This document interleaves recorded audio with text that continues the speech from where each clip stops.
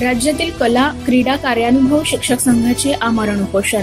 महाराष्ट्र राज्य कला क्रीडा कार्यानुभव शिक्षक संघ यांचे एकोणवीस ऑगस्ट दोन हजार एकोणवीस रोजी आमरण उपोषण सकाळी ठीक दहा वाजल्यापासून पुणे शिक्षण संचालनालय कार्यालय रेल्वे स्टेशन जवळ चालू आहे.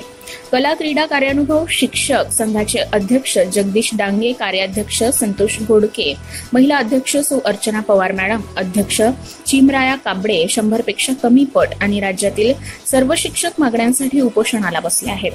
उपोषणातील प्रमुख मागण्या शैक्षणिक वर्ष दोन हजार बारा दोन हजार तेरा पासून ते चालू शैक्षणिक वर्षापर्यंत.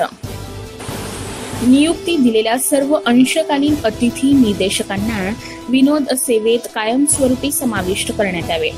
कायमस्वरूपी नियुक्ती मिळावी कला क्रीडा कार्यानुभव निर्देशकांना इयत्ता पहिली ते आठवी पर्यंतचा विषयाचा अध्यापनाचा कार्यभार देण्यात यावा.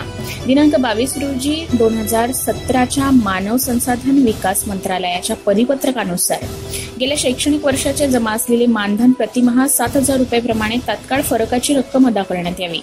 कोर्टाचे निकाल निर्देशकांच्या बाजूने लागून सुद्धा शासन कोर्टाच्या म्हणण्यानुसार कोणतीच अंमलबजावणी करत नाहीये. असं त्या ठिकाणी उपोषणस्थळी असलेल्या निदेशकांनी आपले म्हणणे मांडले. बालाजी आरगुंडे विशेष प्रतिनिधी लातूर.